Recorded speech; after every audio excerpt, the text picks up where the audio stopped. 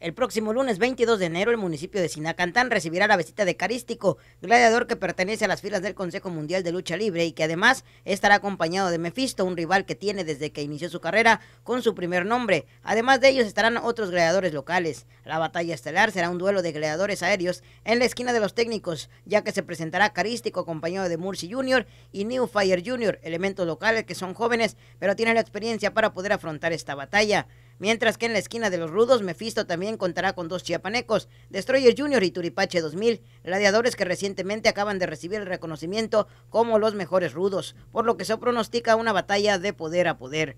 Para TVO de Cuarto Poder, Ismael Quintero Arzate, Deportes.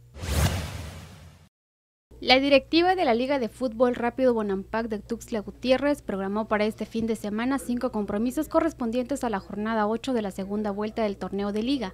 Las acciones se desarrollarán en la cancha del Parque del Oriente y comenzarán a las 9 de la mañana. Deportivo Universidad del Sur será el que junto con Deportivo Llanta Radial inaugure las hostilidades de este domingo. Ambos han mostrado durante el certamen un buen desempeño y se espera que en esta ocasión hagan un buen papel para quedarse con los puntos. Para TVO Deportes de Cuarto Poder informó Mari Carmen Vázquez.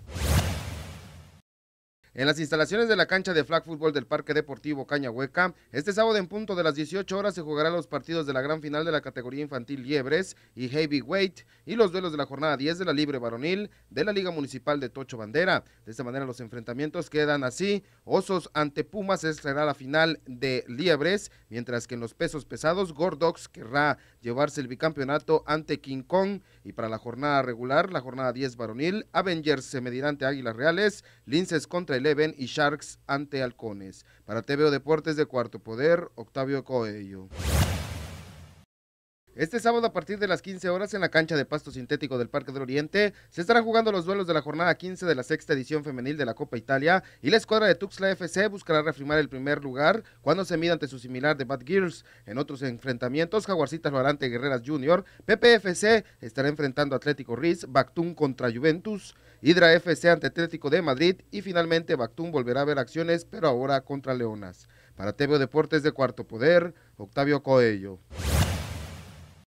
El espectáculo de Tuxtla FC ahora se presentará en casa. El conjunto Conejo hará los honores este sábado a Toluca, duelo programado para las 4 de la tarde, correspondiente a la jornada 2 de la Liga Premier Serie A. Después de golear a Interplay el sábado pasado, los pupilos de Jorge Urbina y Pablo Boco se presentan en el Víctor Manuel Reina con altas expectativas de mantener el buen inicio, pero enfrente tendrán al campeón de las filiales, Toluca, que en su debut derrotó 2 a 1 en calidad de visitante a Pachuca. Con dicha presentación de ambos conjuntos espera un duelo entretenido, incluso con goles. Esta esperanza yace en que ambos conjuntos tienen en sus filas a los artilleros del certamen. Tuxtla con Javier Que, que llegó a la capital coneja para hacer una carrera prometedora, pero en su debut en la casaca Tustleca se estrenó con dos anotaciones, las mismas que logró Alejandro Durán.